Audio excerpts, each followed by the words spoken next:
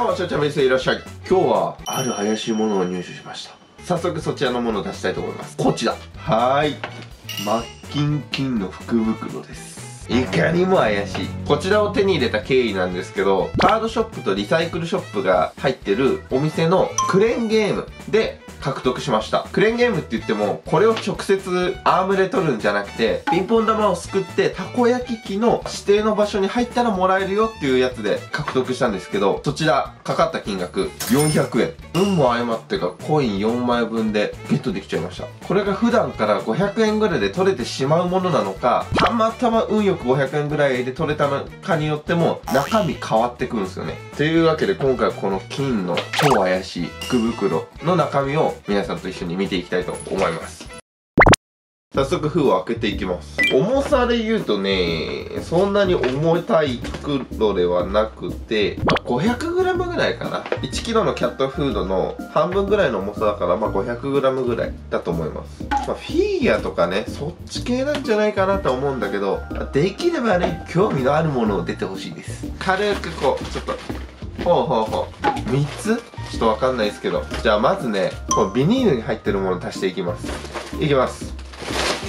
おかわいいじゃん。クレヨンしんちゃんひまわりのポーチですね。やっぱりプライズっぽいやつだね。かわいいひまわりだ。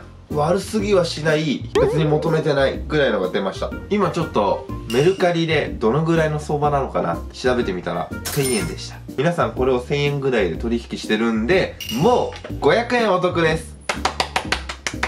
まあ、気持ちが楽になったんで次行きましょう。でかい箱とちっちゃい箱があるのよ。これってさよくあるお前は大きい箱とちっちゃい箱どっちを開けるんじゃ？みたいなファンタジー系のやつであるやつだよね。まあ僕は小さい方開けちゃう派なんですよ。だから小さい方先開けます。せーの。おや？こちらリモコン付きマルチランタンアウトドア商品ですね。ほうそうきました。全然系統ちゃうやん。まあ、ケーブルリモコンが入ってて。使わねえ あって明る明るあ皆さんもう使い道ができました。照明です。正面に向ける照明がなかったんでこの辺に置くとすんごい明るい。これがランタンをつけてるやつ。これがつけてないやつ。明るさのおすごいすごいすごい。段階調整なんだ。照明として使えるならいいもの出ちゃいましたね。使い道めっちゃあった。わこれもメルカリで調べてみたところ1000円ぐらいでまあ取引されてます。使い方は独特かもしんないんだけど気持ち的には当たりが出ました。次がラストですね。一番でかいの。窮地に立たされた時に僕はちっちゃいの選んでました。もし大きい方を選んでたら僕は何になってたのか。せーのじゃん。え？呪術廻戦五条悟のフィギュア。あらまあこれ最近出た呪術廻戦五条悟のプライズフィギュアなんですけど、普通にクレーンゲームとかにあるんですよ。で、まあ後ろ見ての通り、五条悟がたくさんいるんですけど、撮ろうかなって思ってやめたフィギュアです。です。呪術廻戦興味あってよかった。なかったら大外れだわ。ちなみにこれもまたまた1000円ぐらいで取引されております。だから全部で3000円の福袋でしたね。もう入ってないです。空っぽ。じゃじゃーん。ということで、畳みたいになってるね。普段の五条悟です。後ろはこんな感じ。サングラスの後ろの目もちゃんとあるんだね。細か。だかでかくね？これが別のフィギュアなんだけど。結構大きいよね。ほら。全体的に良かった。怪しい金の福袋の中身は怪しくありませんでした。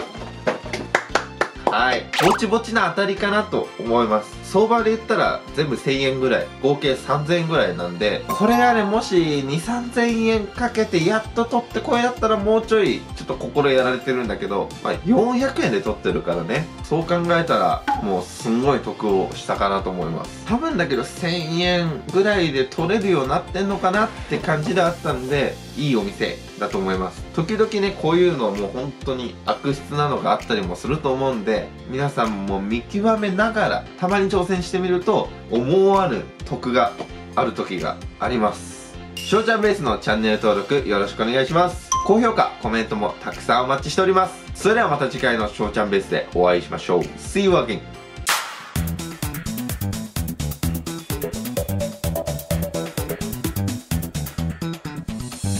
本日もご視聴ありがとうございました。今日の翔ちゃんミュージアムはミーの作品、うちの可愛い猫たちの写真を使って作ってくれてサキュー。